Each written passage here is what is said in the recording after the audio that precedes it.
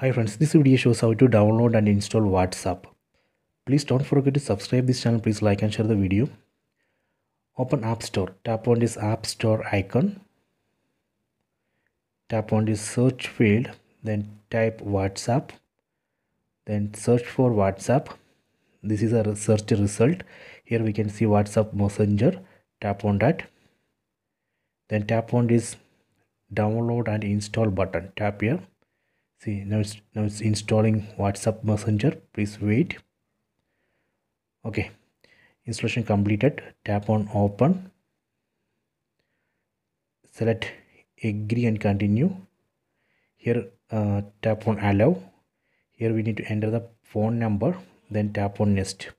The next screen we need to enter the otp you will get uh, otp in your mobile phone. That otp we need to enter in the next screen and verify so that way we can download and install whatsapp in iphone. I hope you have enjoyed this video. Please check it